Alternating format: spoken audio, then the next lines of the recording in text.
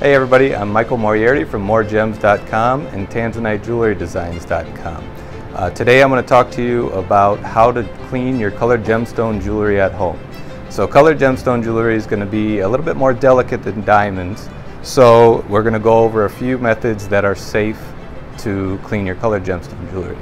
The first being something that we use all the time here, uh, which is just your standard uh, Dawn dish detergent.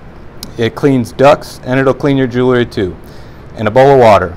So these two things are really my go-to thing when I'm cleaning something that needs a little bit of extra care.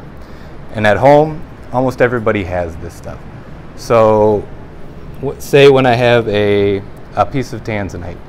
Now this can go in the ultrasonic cleaner um, on occasion, which we'll get to that. But if you have this at home, you can just take your Dawn dish soap and water and soft bristle toothbrush. So we'll just go ahead and I'll just pour a little bit of uh, dish detergent in there. We'll swish it around. And then so you can see here, this one's not super dirty, but sometimes, you know, over time you'll get lotion buildup under the head or if you're um, putting on hand sanitizer, perfumes, things like that, uh, it can start to cloud up the stone, the surface of it. So this mixture of Dawn dish soap and warm water, you don't want it super hot because you don't want to shock the stone, so just warm is good. And then have a towel down because you don't want to drop it down the sink. I wouldn't recommend doing it over a drain. Make sure a soft towel is down, not on a hard countertop and then you just kind of gently try and get under that gallery and on the stone itself. And you'll just kind of keep applying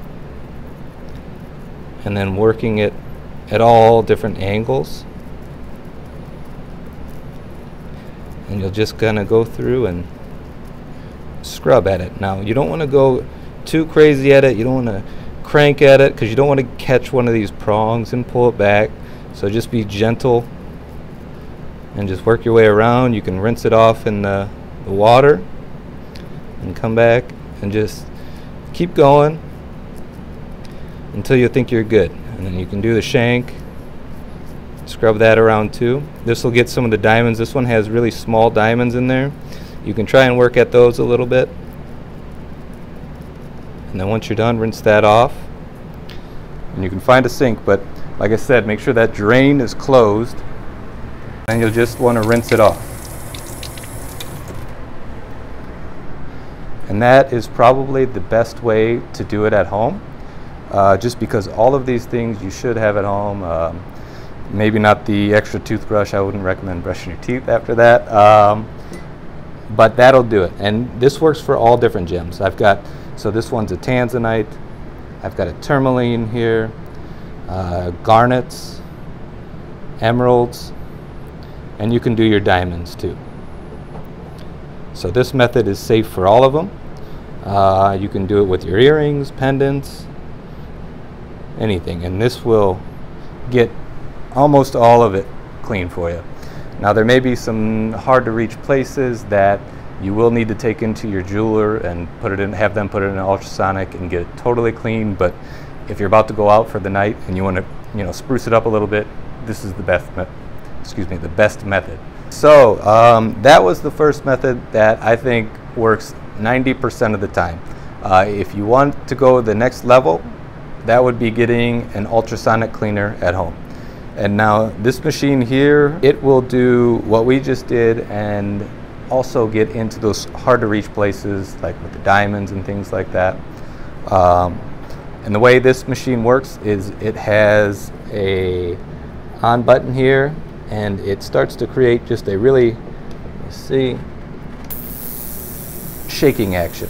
Uh, ultrasonic shaking action in there and you can just kind of hang your rings from here and let it set. I think it's got an eight minute timer on there. You run it, let it set, and then uh, you can come back if you want it to, you know, it's not quite getting where you want it you can go back to the Dawn dish soap and uh, toothbrush. Now, uh, mentioning this, I should also say that not everything can go in this machine. So the Dawn dish soap, that should take care of almost everything, um, with the exception of some opals that are hydrophane. You got to do, you got to be a little bit more careful there. So just make sure you know what you're working on. There are certain gems that you do want to avoid in there. Uh, tanzanite, garnets, diamond, no problem. Should all be pretty good. And I believe they send you a list with it. If not, just ask us in the comments section. I'll tell you whether it's going to work or not. Um, so yeah, that's the ultrasonic cleaner, which is a great addition if you want clean jewelry all the time. Um, now that we've talked about the Dawn dish soap and the ultrasonic cleaner, those things will clean the, the jewelry, but it's not going to polish the metal. Um, and generally, I would just recommend you taking your jewelry, especially if it's a, you know, you invested any money into it, take it to your local jeweler, whoever that may be, and, and have it professionally done. But if you want to do it at home and you want something quick to shine it up just a little bit, I would recommend one of these polishing cloths. So this is just, this has been heavily used. We use it quite often and mostly on chains because chains are a little bit more difficult to polish. Um, but if you have, say, a solid gold band or your shank is solid, it doesn't have any finish on it, because this will remove some finishes, you'll just want to just kind of rub it on there. This is the rouge area. So once you kind of go through and just work at it a little bit, it should brighten the metal up and then you can come back around. Normally yours won't look quite as dirty as ours, but uh, you know we're in a workshop so we use it. Um, and then you just kind of come back and it should give it a little shine. So um, if that is something you're interested, that's another method. Otherwise, like I said, you know, you've brought it to me, we could put a light polish on it, shine it up, no problem. And usually for us it takes, you know, 15, 20 minutes. So um, those are the three best options to clean your jewelry at home. If you start to hear about you know, toothpaste, ketchup, or whatever else is going on, you may want to think twice about it, especially if you invested any money into your, your piece of jewelry because that is something that we don't have in the shop. Um, these are actually the three things that we do use. Um, one thing I did not mention was how to clean up some tarnish on silver rings. So a lot of the times if it's just solid silver ring, no stones or anything in it, we'll use this silver cleaner. This one looks like it's by Hagerty, but there's probably other brands out there that you can use.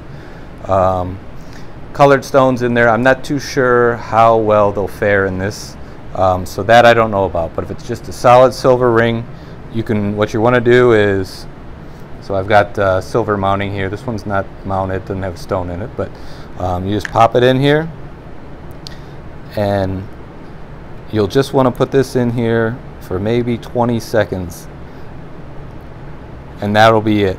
You don't want to leave this in here. I've had customers that leave it in there overnight. It does not do good things to the ring. So just very short period of time and then you can rinse it off. We've got our soap and water solution here.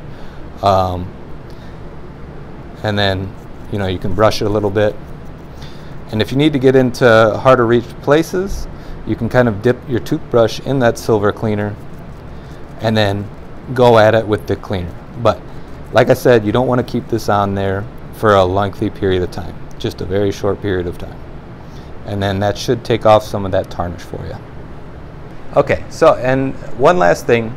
So if you're not comfortable with doing any of these things and you just prefer to take your jewelry to a cleaner um, or uh, to a jeweler to have it cleaned and you have fairly large colored gemstones in your ring, just like this uh, tanzanite, the garnet, this tourmaline, you're going to want to let them know that these need special care. So what they're generally going to use is an ultrasonic cleaner, which we have one, um, and this thing gets really hot. You know, if it's on for a lengthy period of time during the day, it gets so hot that colored gemstones don't like sudden heat change.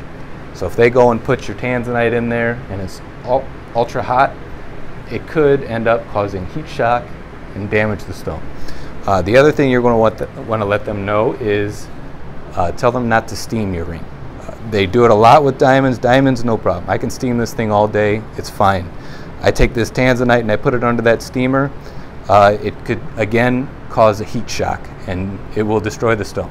So steam, it's just a high-powered, really hot steam. And that usually, it just, it, it cleans diamonds really well.